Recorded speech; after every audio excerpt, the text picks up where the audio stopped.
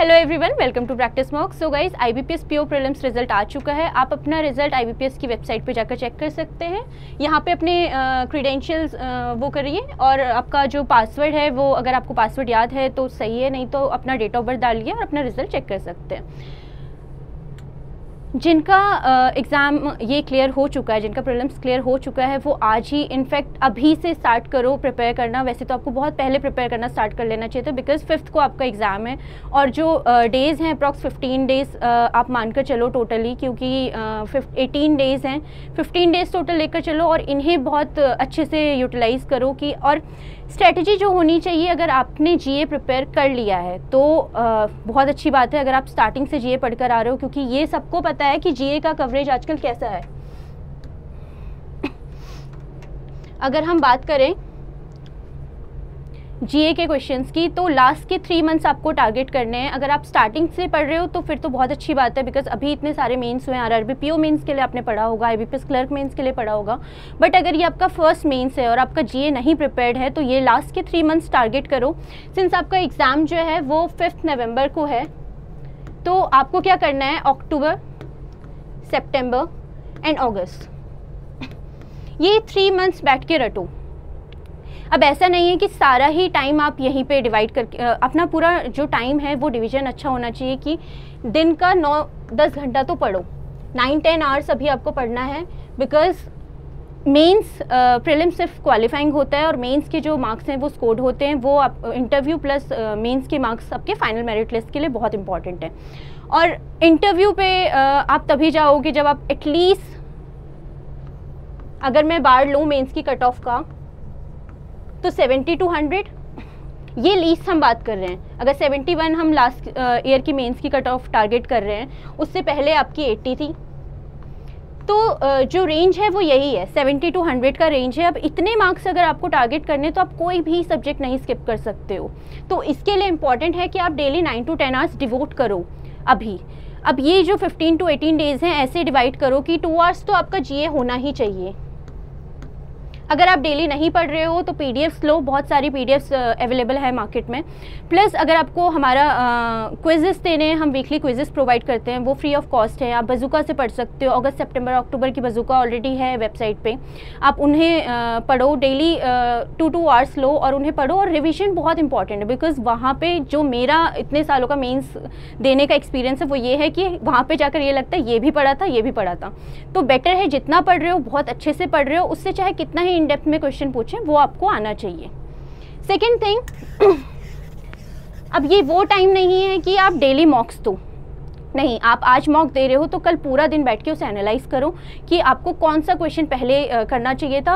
अभी एटलीस्ट आपको चॉइस आपको पता होनी चाहिए कि कौन सा क्वेश्चन ऑप्ट करना था, वहाँ पे कौन सा क्वेश्चन अटैम्प्ट करना है और कौन सा क्वेश्चन स्किप करना है। तो ये बेस्ट टाइम है एटलीस्ट पहले से अगर आप नहीं मॉक दे रहे हो तो ये 15 डेज़ में आपको डेली नहीं भी तो ऑल्टरनेट डेज़ पे आपको एक मॉक देना है और उसे एनालाइज करना है।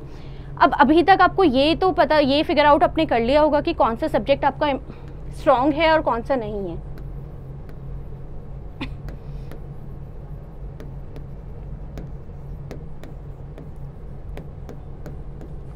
तो इन चारों सब्जेक्ट की अगर हम बात करें तो इंग्लिश को हम सबसे पहले टारगेट करते हैं। अगर इंग्लिश आपका नहीं इतना अच्छा है तो अभी आप ऐसा नहीं कर सकते कि 15 डेज़ में सब कुछ चेंज कर दो और ओवरनाइट ऐसे 15 डेज़ में आप वो लेकर आ जाओ लेवल कि आपके आप यहाँ पे थर्टी प्लस या ट्वेंटी फाइव प्लस मार्क्स आ जाएँ। नहीं, अभी ये नहीं पॉसिबल है। तो डिसेंट मार्क्स को टारगेट करो आप सेक्शनल्स दो मेंस लेवल के क्वेश्चंस करो आर पढ़ने आर सॉल्व करो कि हाँ एटलीस्ट जो आप सॉल्व कर रहे हो उसमें एक्यूरेसी है। क्वांट की अगर हम बात करें तो डीआई डेली दो या तीन डीआई के सेट सॉल्व करो, क्योंकि डीआई बहुत इंपॉर्टेंट है। अब ये होता है, वहाँ पे स्टूडेंट वर्ड प्रॉब्लम्स को टारगेट करते हैं नंबर्स प्रिलिम्स बहुत इजी होता है कि प्रिलिम्स सब में बहुत सिंपल सा डीआई आता है, या तो आपका बार सेट आ जाता है लाइन ग्राफ आ जाता है, या पाई चार्ट आ जाता है तो आप उसे सॉल्व कर लेते हो ईजिली या फिर नंबर सीरीज़ होती है क्वाड्रेटिक इक्वेशन होते हैं तो ये सब करके आप मार्क्स ले आते हो, लेकिन अब हम बात कर रहे हैं मेंस की। तो यहाँ पे आपके कॉन्सेप्ट क्लियर होने चाहिए। और आजकल क्या होता है मेंस में कॉन्सेप्चुअल डी ज़्यादा पूछे जाते हैं तो आपको बेसिक परसेंटेज पे ही नहीं दिखेंगे। आपको profit and loss time and work in T S इन सब पे भी डी देखने को मिलते हैं। तो वहाँ पे क्वेश्चन सिलेक्शन बहुत अच्छा होना चाहिए कि वो जितना टाइम आपको प्रोवाइड किया गया वो आप बहुत अच्छे से यूटिलाइज़ कर रहे हो। अब हम बात करते हैं रीजनिंग की। अब रीजनिंग में जो सबसे बड़ा मेजर फियर है वो ये है स्टूडेंट्स को कि पजल्स और सेटिंग अरेंजमेंट को नहीं करना। इन्हें नहीं करोगे तो फिर किसे करोगे? आप मिसलेनियस के भरोसे जाते हो या फिर क्रिटिकल रीजनिंग के आ, उस पर जाते हो कि हाँ क्रिटिकल सी आर कर लेंगे। बट सी आर में काफ़ी डाइसी रहता है कि आपका ये भी सही है या नहीं है। एक तो आप इतना एग्ज़ाम में इतने प्रेशर में होते हो कि हाँ आपको लगता है तीन बार एक ही सी आर आप रीड करते हो। इट हैपन्स राइट कि अगर आप सी uh, कर रहे हो नॉर्मली अगर आप वो सीआर पढ़ो तो आपको पता रहता है हाँ ये आंसर है बट मेन्स के टाइम पे क्या होता है आपको पजल नहीं आ रही आप स्किप कर रहे जा रहे हो सारे क्वेश्चन स्किप कर रहे हो स्किप कर रहे हो फिर आप सी आर पे अटकते हो तो वहाँ पे वो टाइम टेकिंग होता है। उतने में आप एक पजल रीड कर लोगे।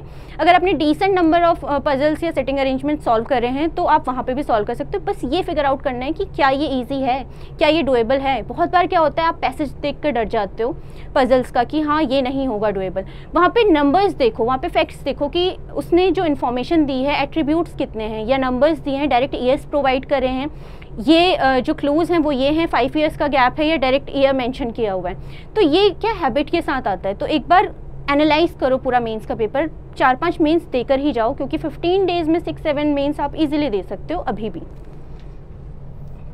तो रीजनिंग में आपको स्किप नहीं करना है इनपुट आउटपुट करो ब्लड रिलेशन करो रैंकिंग करो। और जो ये लोग ये बोलते हैं हाँ कि पेपर मतलब बहुत ही सरप्राइजेस हैं इस बार पेपर में, आ सकते हैं या मेंस में बहुत सारे इस बार सरप्राइजेस देखने को मिले। तो अभी तक का अगर हम देखें, हर साल किसी भी ईयर का एनालिसिस उठाकर देख लो सिक्सटी परसेंट से ज़्यादा सिक्सटी परसेंट भी मैक्स है कि इससे ज़्यादा तो नहीं न्यू कुछ आया होगा। तो ये फोर्टी परसेंट तो ऑप्ट करो एटलीस्ट और ये क्या होता है, ये टफ नहीं होता इट्स जस्ट दैट कि ये कुछ नया है। कुछ डिफरेंट हैं। अगर क्वेश्चन हम सबसे पहले इनपुट आउटपुट की बात करें 2018 में उन्होंने नया इंट्रोड्यूस करा था सिंबल वर्ड नंबर तो उसे देखकर ऐसा लगा था कि हाँ ये नहीं सॉल्व हो सकता। डायरेक्शन सेंस के जो क्वेश्चंस थे मूवमेंट के साथ जो क्वेश्चंस थे कोडेड डायरेक्शन जब इंट्रोड्यूस हुआ था। But you are able to solve that question right आप घर आए, उसके बाद आपने देखा कि हाँ मेमोरी बेस में चेक करें तो वो क्वेश्चन काफ़ी ईजी थे। तो कीप काम वहाँ पे बस ये देखना है आपको कि अगर ये नया भी है तो आराम से एक बार एक रेट दो उसे। लग रहा है कि सॉल्व हो रहा है तो गो फॉर इट नहीं तो स्किप करो। अब हम आते हैं जीए पे। तो जीए ये पर्सन टू पर्सन डिपेंड करता है, इसकी कोई स्ट्रैटेजी नहीं है, नहीं पढ़ा तो रटो बैठ के। अगर आपने स्टार्टिंग से पढ़ा है तो दैट इज़ फाइन कि हाँ आपको बस रिवीजन करना है। अगर कुछ नहीं पढ़ा है तो थ्री मंथ्स की पी लो और उन्हें पढ़ो। या टू मंथ्स की लास्ट के टू मंथ्स पढ़ो बट इतने अच्छे से पढ़ो क्योंकि अब वो हवा में क्वेश्चन नहीं आते हैं कि आपने बस एक बार कहीं पढ़ा है तो आप वहाँ पे रिकॉल कर लोगे नहीं, आप नहीं रिटेन कर पाते हो। तो इन डेप्थ आपके क्वेश्चंस पूछे जाते हैं। जितना पढ़ रहे हो, बहुत अच्छे से पढ़ो।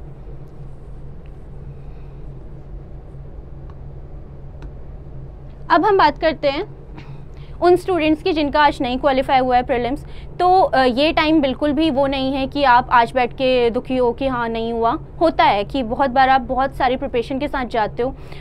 किसी भी वजह से अगर आपका प्रीलिम्स नहीं क्लियर हुआ है एस का आपका एग्ज़ाम है नवंबर फ़र्स्ट वीक में आपका एग्ज़ाम है तो अभी हमने लाइव टेस्ट दे रखा है। हमारी वेबसाइट पे फ्री है ये लाइव टेस्ट कल तक है। अगर नहीं हुआ है तो आज दुखी होने की वजह बैठो आराम से और कल बैठ के ये लाइव टेस्ट दो। कि हाँ नहीं हुआ I B P S P O problems तो दैट इज़ फाइन हम S B I P O target करेंगे। और वन मोर अपडेट अगर आपका मेंस है और किसी पर्टिकुलर सब्जेक्ट में आपको प्रॉब्लम हो रही है लाइक like आपका क्वांट में आपको प्रॉब्लम हो रही है पर्टिकुलर टॉपिक्स में या फिर रीजनिंग में आपको कुछ प्रॉब्लम हो रही है तो हमारे सब्जेक्ट वाइज वीडियो कोर्सेज हैं यहाँ पे। आप ये चेकआउट कर सकते हो और ये परचेस कर सकते हो अभी के लिए।